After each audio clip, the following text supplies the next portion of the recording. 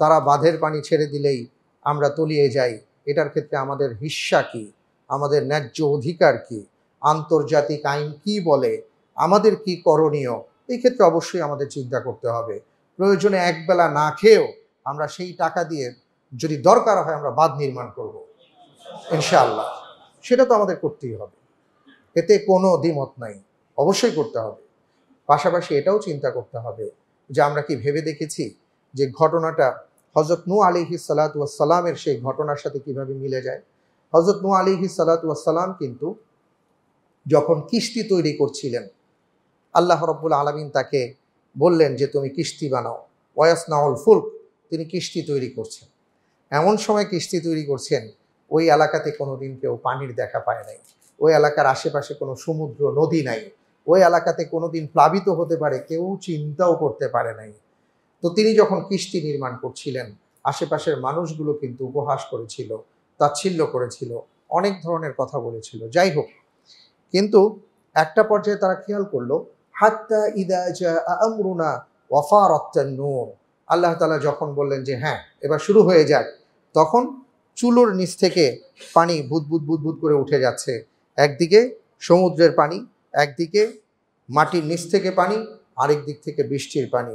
এই তিন পানি মুহূর্তের মধ্যে এমনভাবে চলে এলো যে এরা চিন্তা করার কিন্তু সময় পায়নি।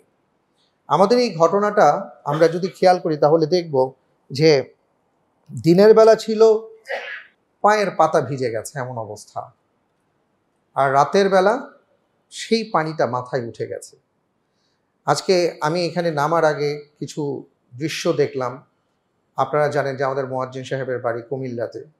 ওনাদের অলরেডি এমন অবস্থা হয়ে গেছে যে মানুষেরা যে একটু আশ্রয় নেবেন, যাদের একটু উঁচু বাড়িঘর ছিল, এখন সেটাও তলিয়ে যেতে শুরু করেছে। এখন তাদের ছাদে চলে যেতে হচ্ছে। কিন্তু ওই সকল গ্রামে, গঞ্জে কয়টা ছাদ আছে? এবং বড় ধরনের প্রশ্ন হলো যে এই ছাদ তলিয়ে যে পানি আরও উপরে উঠে যাবে না, এটাও তো বলা যাচ্ছে না। আমার এক মুসল্লি ভাই মাত্র বললেন, ওনার বাড়ি ফেনী। ওনার পরিবারের সাথে যোগাযোগ বিচ্ছিন্ন হয়ে গেছে। উনি বলতে পারছেন না যে ওনার পরিবারের লোকজন কেমন আছে। এমন অহরহ ঘটনা আমি বললাম না যে গত রাত, গত দুই রাত ধরে আমার মতন আপনারাও কেউ ঘুমাতে পারেন নাই। কারণ আমরা ঢাকাতে থাকলেও আমাদের আত্মীয় স্বজন কেউ নোয়াখালীতে আছেন, কেউ লক্ষ্মীপুরে আছেন, কেউ কুমিল্লায় আছেন, কেউ ফেনীতে আছেন, নানা অঞ্চলে ছড়িয়ে ছিটিয়ে আছেন। তো প্রত্যেকেরই কেউ না কেউ ওখানে আছেন এবং প্রত্যেকের পরিবারে, প্রত্যেকের পরিবারের সদস্যদের সাথে এমন দুঃখজনক ঘটনা ঘটে যাচ্ছে, সামনে যে কি ঘটবে আমরা বলতে পারছি না। আল্লাহ রব্বুল আলমিনের কাছে দোয়া ছাড়া আমাদের আর কিছু নাই ইস্তেকফার ছাড়া আর কিছু নাই। কারণ যুগে যুগে তো আমরা এটা দেখেছি। দেখেছি না? আসহাবুল ফিল, সুরাতুল ফিলের ঘটনা আমরা দেখেছি। সুরা, সুরাতুল ফিল আমাদের সামনে আছে, যেখানে বাদশাহ আব্রাহা এমন বাহিনী নিয়ে আসছে মক্কার অধিবাসীরা বুঝে নিয়েছে যে এই বাহিনীর সাথে লড়াই করার মতন শক্তি আমাদের নাই, কোনো ক্ষমতা নাই। তাহলে কি করতে হবে?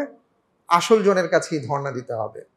তো এই জন্য আব্দুল মুত্তালিব তিনি ওই কাবার পাদদেশে দাঁড়িয়ে আল্লাহ তালার কাছে দোয়া করে বলেছেন যে, আল্লাহ, এই ঘর আপনার আপনার ঘর আপনি হেফাজত করেন। আমরা এখন কিছু করতে পারলাম না, আমরা অসহায়। এটা বলে তারা পাহাড়ে চলে গিয়েছিল। আল্লাহ রব্বুল আলমিন তিনি তার ঘরকে যেমন রক্ষা করেছেন এবং দেখিয়ে দিয়েছেন যে আল্লাহ রব্বুল আলমিনের পক্ষ থেকে যখন বাহিনী আসে সেই বাহিনী কি করতে পারে?